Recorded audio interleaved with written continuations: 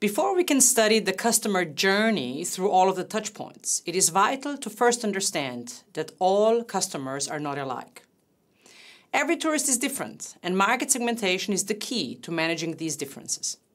To illustrate the importance of market segmentation, we asked tourists, why did you come to Queensland? And what is the best experience you had here?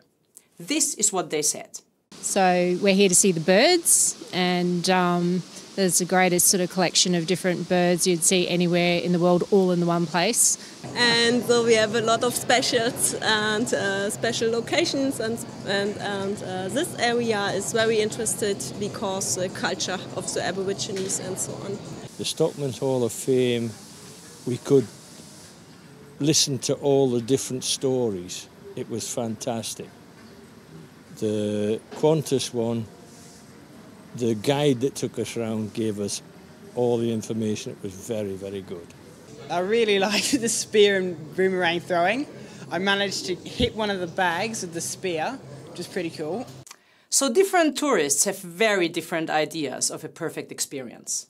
Harvesting these differences is what market segmentation is all about.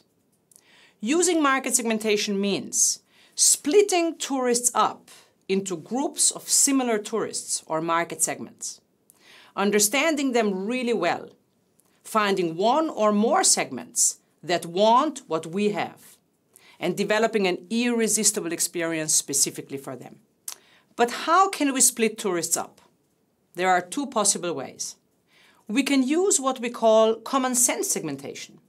We do this when we know in advance which characteristic to use to group tourists. Looking at this survey data set, for example, we can choose couples without children as a market segment. Then, we use any other information we have about them to describe them. Age, the number of vacations they take each year, and benefits they seek when going on vacation. Or, if we're unsure how to best split tourists up, we can use data-driven market segmentation. Using the same data, we can use information about five benefits sought to create segments. This segment, for example, wants to relax, does not want action, and wants pristine sandy beaches. They do not want to experience culture and meet new people. Again, we can use any additional information available to us to understand this segment as best we can. It is important to keep two things in mind with market segmentation. First, Choosing to target a market segment is a long-term commitment. It's a marriage, not a date. Once the experience has been customized for one segment and the brand image developed, it is very, very difficult to change your mind. Second, data-driven market segmentation analysis is tricky. Many decisions have to be made which influence the resulting segmentation solution. For example, you need to have high quality data as a starting point.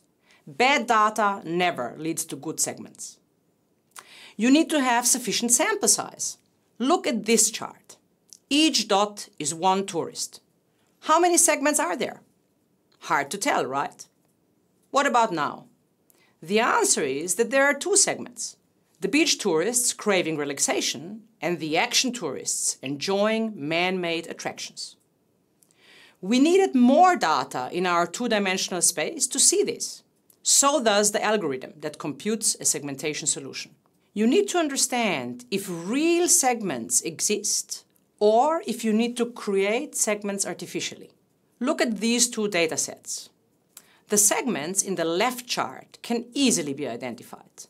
The data in the right chart contains no distinct segments. If we try to find segments, we will find different segments every time we repeat the calculation. In such a case, we need to acknowledge that real market segments do not exist. We need to create segments. Keep in mind that, although real, distinct and well-separated segments do not exist, it is still better to treat the tourists located in the top right corner, the relaxing beach tourists, differently from those in the bottom left corner, the action tourists. So we need to repeat our calculations to find out whether we are in the lucky position to identify existing segments or whether we are forced to artificially create segments. You're better off using raw data than using factors, which are combinations of variables in the raw data.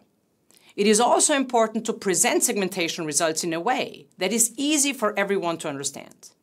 This is best done with a chart. Look at this table, for example. It is difficult to profile segments based on this table. However, if we put the same information in a smartly designed chart like this one, we can immediately see the key segment characteristics. Segment 1 is keen on relaxation, sand and beach, pristine nature, and peace and quiet. Segment 2 is interested in action, theme parks, meeting new people, and nightlife. Finally, the market changes all the time. Continuous monitoring of the market is therefore critical to be able to make adjustments when required. So, what are the benefits of market segmentation? You will offer the best experience for your segment. They will enjoy this experience and return. They will share their excitement with others. You will develop a brand image for serving this segment well. This will give you a long-term competitive advantage. And you will spend much less on marketing because you will talk to a subset of the market only. So, tourists are not all the same. It is worth taking the time to understand differences between tourists and choose the market segment you can delight.